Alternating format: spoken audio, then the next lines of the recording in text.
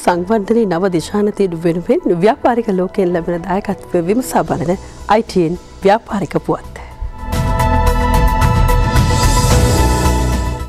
සමස්ත ලංකා පාසල් ළමුන් ප්‍රවාහන සංගමයට වසර දහනමයක් පිරීම නිමිත්තෙන් ජේෆ් ඉන්ශුවරන්ස් බ්‍රෝකස් ආයතනය නිර්මාණශීලිත්වයෙන් ෆෙයාෆර්ස් රක්ෂණ සමාගම සහ සනස රක්ෂණ සමාගම සමඟ ඒකාබද්ධව ලබා දුන් රක්ෂණ ඔප්පුවක් පසුගිය දිනක ජේෆ් ඉන්ශුවරන්ස් බ්‍රෝකස් ආයතන පරිශ්‍රයේදී එම සංගමයට පිරිනමන්නට යෙදුණි. මෙම රක්ෂණ ඔප්පුව දැරිය හැකි අඩුමිලකට ප්‍රතිලාභ රැසක් සහිතව එම සංගමයට පිරිනැමීමට හේතුපාදක වූයේ ළමා පරපුර වෙනුවෙන් ඉමහත් සේවාවක් සඳහා ඔවුන් විසින් දායකත්වයක් ලබා දෙන නිසායි.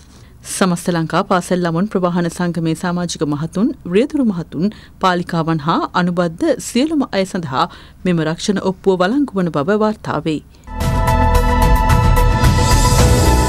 ජාතික ව්‍යාපාර කළමනාකාරිත්ව ආයතනයේ තිස් අටවන වාර්ෂික ඩිප්ලොම ප්‍රධානෝත්සවය පසුගිය දිනක කොළඹ බණ්ඩාරනායක අනුස්මරණ ජාත්‍යන්තර සම්මන්ත්‍රණ ශාලාවේදී පැවැත්වීමට කටයුතු යොදා තිබුණා. මෙවර ඩිප්ලොමා ප්‍රධානෝත්සවය පැවැත්වුවේ ගරු නිපුණතා සංවර්ධන වෘත්තීය අධ්‍යාපන හා පර්යේෂණ නව නිපැයුම් රාජ්‍ය අමාත්‍ය වෛද්‍ය සීතා අරඹපොළ මහත්මියගේ ප්‍රධානත්වයෙන්. ඩිප්ලොමා ප්‍රධානෝත්සවය සැසිවාර දෙකකින් පැවැත් වූ අතර එම සැසිවාරයන්හි මුඛ්‍ය දේශනය පවත්වනු ලැබුවේද ගරු රාජ්‍ය අමාත්‍යවරිය විසිනි.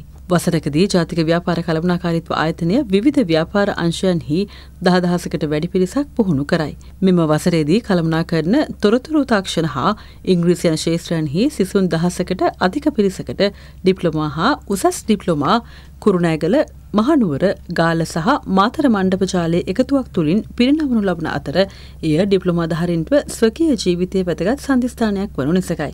NIBM යනුවෙන් වඩාත් ප්‍රචලිත ජාතික ව්‍යාපාර කළමනාකාරීත්ව ආයතනය ශ්‍රී ලංකාවේ ප්‍රමුඛතම ව්‍යාපාර අධ්‍යාපන ආයතනයක්.